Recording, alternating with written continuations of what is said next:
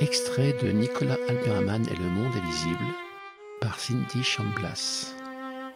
De temps en temps, Nicolas imaginait être comme tout le monde. Parfois, il jouait à être normal. Lorsqu'il voyait que tous ses camarades de classe levaient la main pour répondre à une question de l'instituteur, il levait la main aussi, sans vraiment savoir quelle était la question. Lorsque son père lui demandait d'acheter du pain de la boulangerie en rentrant de son école, il s'amusait à répéter ce que la personne devant lui avait dit à la boulangère. C'était un jeu plutôt drôle et rassurant.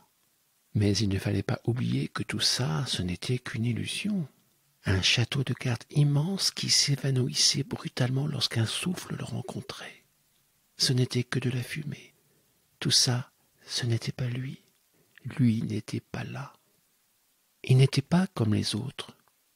Et pour découvrir ce qui faisait sa singularité, ou du moins une des raisons, il fallait se loger derrière ses yeux. De là, le monde était bien différent, car Nicolas voyait des choses qui n'existaient pas. Enfin, pour être plus précis, Nicolas voyait des choses que les autres ne voyaient pas. Autour de lui, le monde était plus vaste. Les ruelles étaient remplies de gens un peu différents. Des passants faits de coton transparent flottaient parmi les autres. On aurait pu dire que c'étaient des fantômes, mais pour Nicolas, ils étaient bien plus que ça. Les histoires de fantômes qu'il avait entendues les décrivaient toujours comme gris, effrayants et faisant de mystérieux bruits avec le son ouh.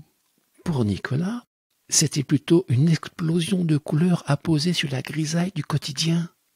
C'étaient des personnes légèrement transparentes, qui semblaient flotter plutôt que marcher et qui se trouvaient toujours dans d'étranges nuages colorés. Parsemés autour d'eux, ces nuages n'étaient pas que couleurs, ils étaient aussi composés d'images. En effet, leur propre monde défilait sur des écrans éphémères. Il y avait des paysages, des objets, des personnages qui se dessinaient dans la brume colorée. Nicolas avait fini par en déduire que c'étaient les souvenirs de ces étranges passants qu'ils portaient comme des bagages de leur passé.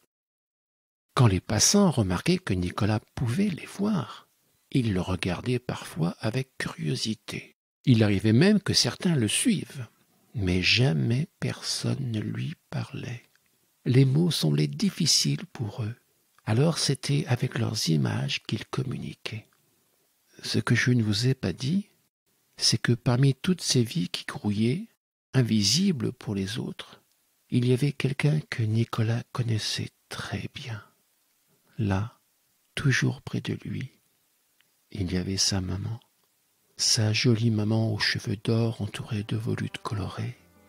On y voyait souvent une maison ainsi que des ruelles parisiennes, parfois des crayons ou des boîtes anciennes, il y avait aussi l'odeur des pétales de rose et l'éclat d'un ruisseau sous un soleil d'été.